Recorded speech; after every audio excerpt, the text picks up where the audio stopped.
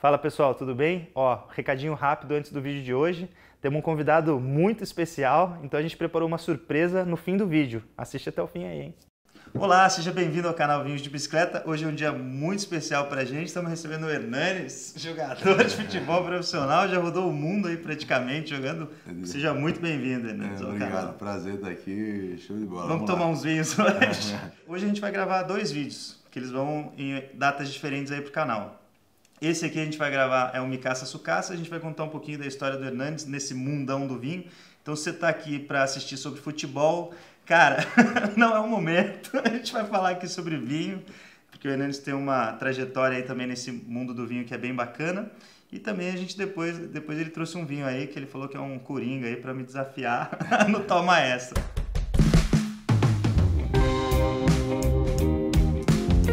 Você começou, você já curtia vinho é, antes de ir para a Itália e jogar na Itália? Ou foi lá que você entrou mesmo para essa, essa é. paixão do vinho?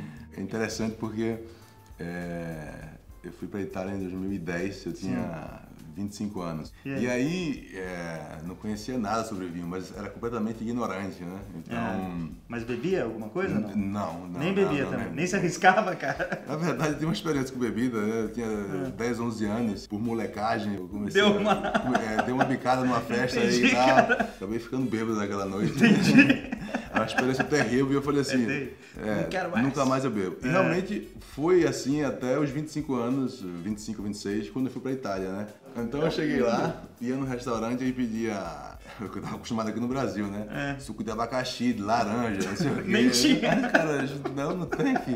Ou era água ou, ou vinho. vinho é. é. E aí comecei aos poucos experimentar os vinhos e fui gostando. E assim, Legal, mas o vinho sempre chamou minha atenção porque eu sou um cara que eu gosto de. de é, história de, também? De história, é. gosto de, de conhecer as coisas. É, então, o vinho sempre teve aquela. O vinho traz muito isso, né, cara? É, não é só uma bebida, não é, só é um bebida. negócio. É. No começo, você não está acostumado, nem, né, o paladar não está é, habituado, apurado, apurado você não percebe. Tem um treinamento, né? Treinamento, também, exatamente. Treinamento. Então, quando você vai avançando você vai começando a perceber as, é, as diferenças e você cada vez começa a querer aprender mais, mais a conhecer é. mais. E aí é uma coisa que. inclusive, hoje eu vi que vocês produzem vários vinhos, né? Depois a gente já vai falar um pouquinho sobre a sua vinícola também. E aí a gente está abrindo aqui o, o reserva, ele já está aberto Isso. na taça, inclusive.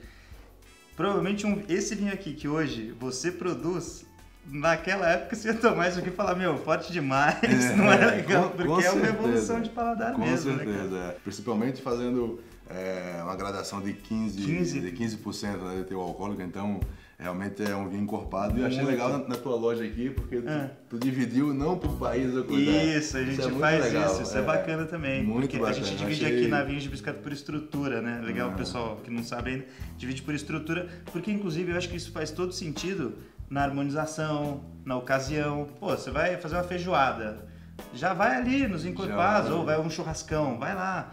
É, ah, vou fazer um risotinho mais leve e tal. Tem os de médio corpo, corpo leve, até os brancos ali.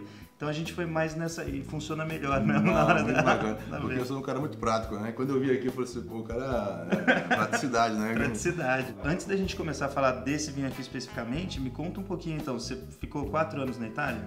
Sete anos, na verdade. Sete anos é, já, sete foi anos, mais. É, então. foi, foi. E aí, quando que foi esse passo, assim? Você chegou lá, começou a gostar de vinho e tal, e aí quando que você decidiu, meu, quero ter uma vinícola? Isso, boa. A gente sempre começa por baixo na vida, né? Então eu comecei com uma, uma adeguinha pequena. pequena, né? É. É, 25 garrafas.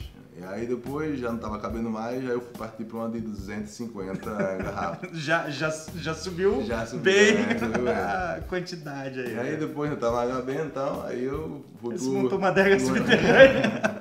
Mas aí você foi para vinícola, é vinícola, direto. Mas o ponto da vinícola é legal porque é, eu não parti com a ideia de ter uma vinícola. Não. Na verdade foi o seguinte, eu estava em 2015, saí depois de 5 anos, e aí eu comecei a visitar o Piemonte. E aí eu me encantei com o lugar, né? Ali com a região de Barbaresca. É lindo, né, cara? Lindo demais. Falei assim, poxa, eu quero comprar uma casa aqui. Assim, você queria ter uma casa uma pra casa, você visitar lá de é, vez em quando. Uma casa com um quintalzinho e tal. Na minha pesquisa que eu fiz, eu achei o lugar ideal. E já tinha vinhedo. Já, já tinha um vinhedo. Ah. Já tinha um vinhedo, já estava em produção há 15 anos já. já Mas tinha então a operação tinha... da adega já lá também, não só o vinhedo. Não, não lá tinha a casa e, e o vinhedo. E o vinhedo.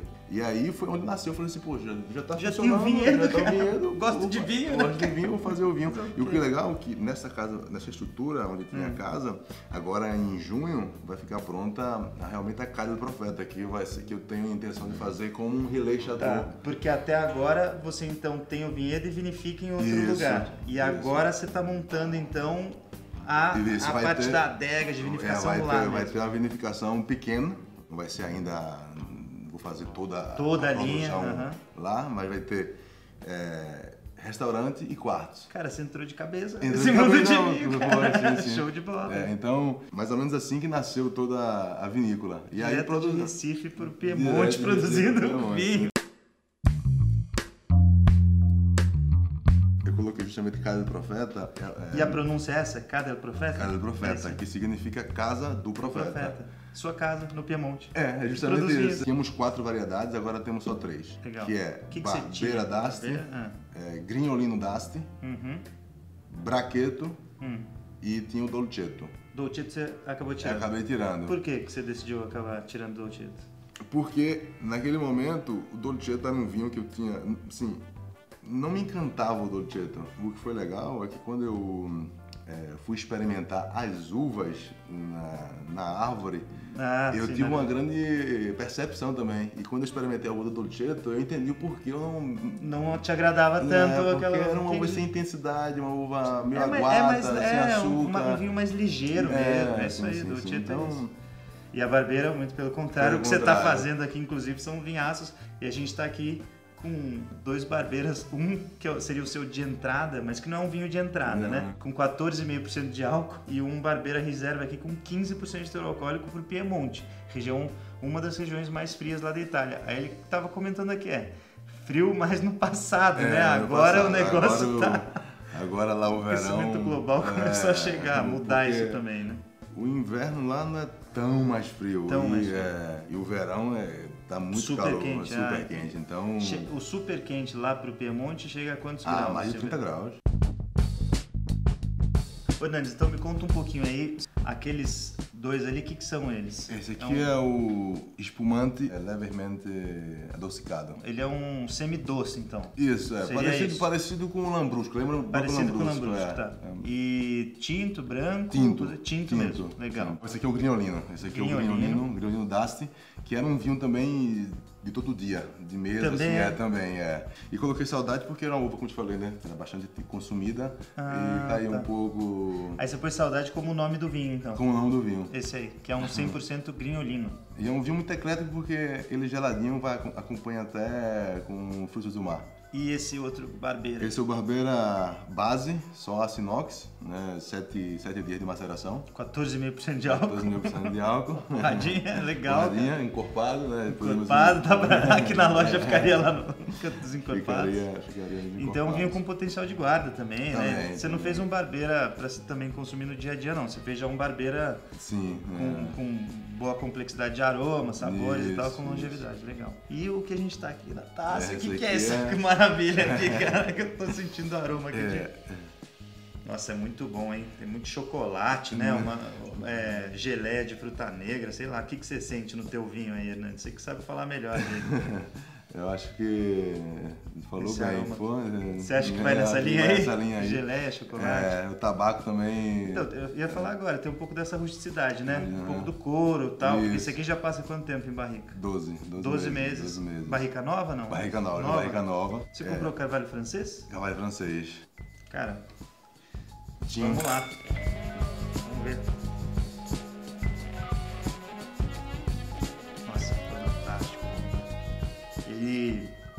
Eu poucas vezes, porque é muito legal isso aí, vai muito do produtor. No caso do Hernanes, ele escolheu fazer um vinho hiper complexo, um reserva, com um longo tempo de estágio em barrica e tal, e, e trouxe para Barbeira. Na verdade, o que essa uva já consegue proporcionar, mas nem todo vinho feito no Piemonte com ela escolhe esse caminho. Tem vários vinhos no Piemonte que fazem barbeiros mais ligeiros, menos tânicos, lembrando um pouco da Dolcetto, até que a gente estava conversando. Esse aqui, cara, isso aqui é vinho para 20 anos de potencial de guarda. Uhum. Acho que é um vinho que vai evoluir muito em garrafa, né? Depois de engarrafado. Ele ainda é uma criança, né? A gente está cometendo um infanticídio aqui, que é 2016 ainda. Então, para vinho, para um vinho dessa qualidade aqui, desse potencial de guarda, eu acho que esse vinho aqui consegue é, e muito longe ainda. É o que você pensa dele também, não? Sim, sim. você fez com esse intuito, cara? Fez com esse intuito, assim, tem um fato interessante da barbeira em si. Ah. Porque a barbeira, quando eu é, comprei a casa que tinha um vinhedo, uh -huh. e tinha barbeira, eu falei, hum, barbeira é um que eu conheço, que eu gosto e tal. E, mas foi o meu primeiro ano né, 2016, como um produtor. Produtor de vinho. E aí, quem vinificou ele pra mim, pra hum. eu conhecer, é o Coco. Sim, sim. Lá do Piemonte, ele é torcedor do Juventus, a gente por coincidência se conheceu e perguntei para ele se ele não fazia, poderia fazer a vinificação para mim. Por quê? Eu tinha comprado a casa com um vinhedo e eu queria saber se a uva é, tinha potencial. Tinha qualidade. Tinha qualidade. Potencial. E ele aceitou, falou só não faço trabalho e tal, mas ele é torcedor e tal. Ele... Olha só, cara, conseguiu essa boquinha. Essa boquinha. Foi interessante porque eu ia fazer somente a barbeira né, na Barique. E aí, ah, conheci, e aí, isso que é o legal, porque eu conheci também um Piemontês. Ah. Né? Então os caras, não, não faz na barriga. Não faz na barriga, não. É, então, é. Os caras gostam de sentir a fruta mesmo. Sim, sim, gostam, sim, então, então é, foi bacana essa experiência. É, e... e você vai dando sua cara também vai dando minha cara, justamente, né, cara? É legal. Então, mas o resultado dele ficou interessante. Após nove meses eu me lembro de fui lá no copo, experimentei, falei assim, pô, tá fantástico. Depois com 12 meses, quando ficou pronto, assim, recém-tomado, eu falei assim, hum, não ficou do jeito que eu imaginava. Esse aqui? É, então. Ah, a... mas estava muito novo, né? É, então. É, então, tinha isso, né? E aí, pegou um tempinho de garrafa, eu, hum, tá melhorando. é isso. Sabe aquela conversa que o cara é, acha sim, que é. Que é na hora, né? Que é na hora e que é, é papo furado e coisa, mas eu realmente. Isso que foi legal, que você. que eu pude perceber a, a evolução, evolução, do seu próprio do, vinho. Do vinho né? Cara, é um vinho fantástico. Eu achei fantástico. Eu poucas vezes tomei Barbeira Reserva, Barbeira d'Asti Reserva. Barbeira é uva, Barbeira d'Asti é a denominação de origem, Reserva é quando indica tempo de barrica, até produtividade do vinhedo, né? Que tem umas uhum. regulamentações lá que tem que seguir. E tá fantástico teu vinho. Meu, foi um prazerzaço te ter aqui no Me Caça Casa. É, seja sempre muito bem-vindo. E, cara, foi muito legal conhecer tua história fora do futebol. Do futebol já é bem famosa. Essa aqui tá Não, sendo bacana, contada aí no canal Vinhos de Bicicleta. E, e é legal gravar um programa lá agora, lá na Casa do Profeta. Ficar... Pô, cara, vamos lá. Mas, legal. Obrigado pela não, imagina, cara. Oportunidade, Foi prazerzão, show de bola. Coisa linda. E é isso aí. Cheers. Oh, cadê o troféu?